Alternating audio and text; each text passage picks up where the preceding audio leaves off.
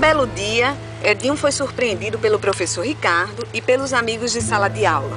Ele ganhou um notebook de presente e viu realizado seu maior sonho. Hoje as pessoas já chamam a gente para consertar o computador, essas coisas. Uhum.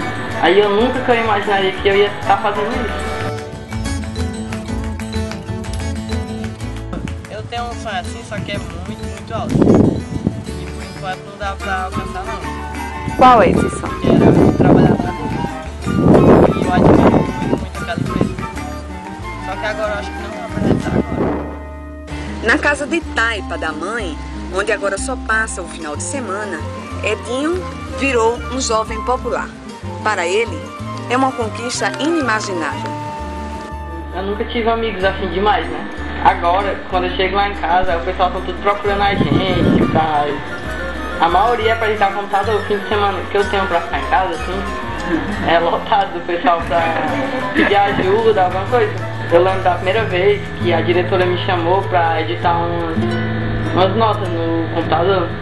Eu não sabia mexer em nada, nada, nada, nada. E agora pra mim a informática é tudo hoje.